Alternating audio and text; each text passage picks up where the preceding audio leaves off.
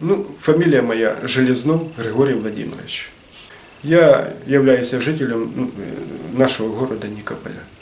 Вот. Проживаю от самого рождения, и сколько мне лет, уже без копейки, там будет 70 лет. Все эти годы я проживаю в этом городе. Сейчас, в настоящее время, я являюсь пенсионером. Уже седьмой год не работаю практически. До этого работал на заводе ферросплав. Где-то в течение, ну, в общей сложности, где-то в пределах 32 лет. Без двух месяцев там получается так.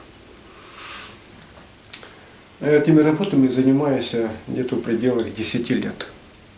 Есть работы, которые сейчас находятся у меня в музее, в нашем городском музее. Одна из них работа очень интересная, которая посвящена помаранчевой революции. Я думаю, что это, Это что за работы? Это ковка художественная? или? Это вот э, работы выполняются м, только на холодную.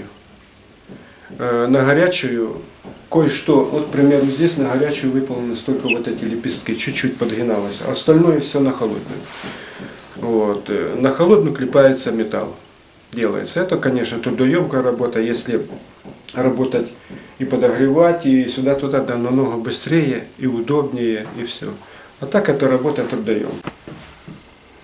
Начи- Начну.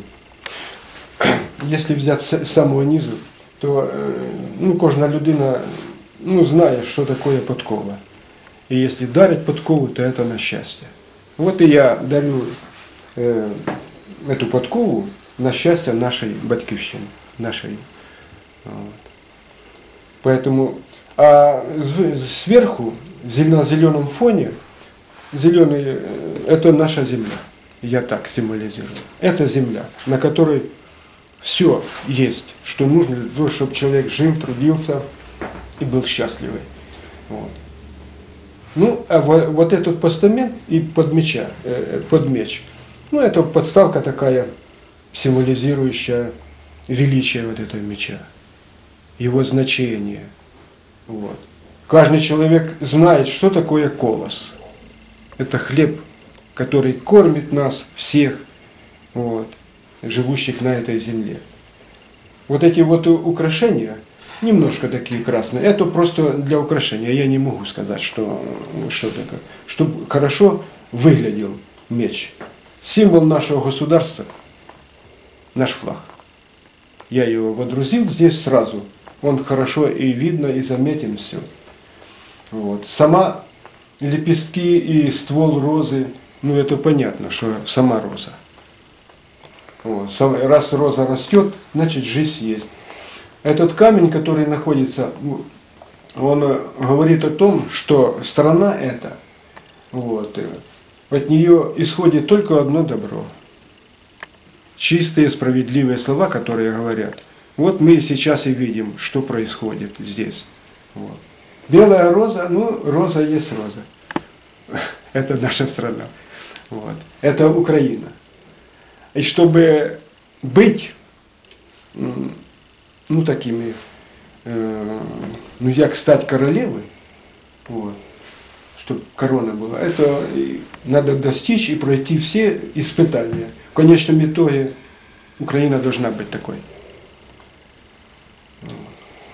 Солнышко, которое здесь, так человек должен выбирать солнце. Солнце греет, люди живут, вот, тепло от него исходит. Здесь нет нич- ничего, которое опорочило нашу страну.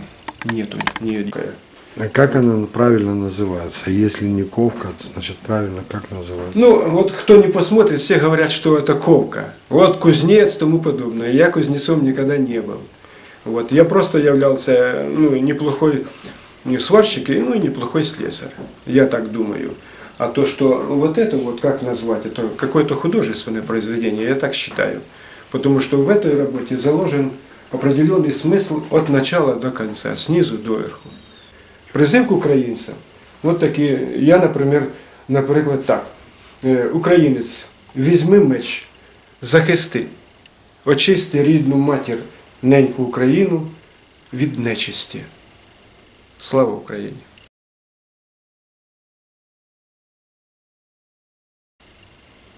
Вот это, то с- смысл заложенный в вот это все. Призив до українців.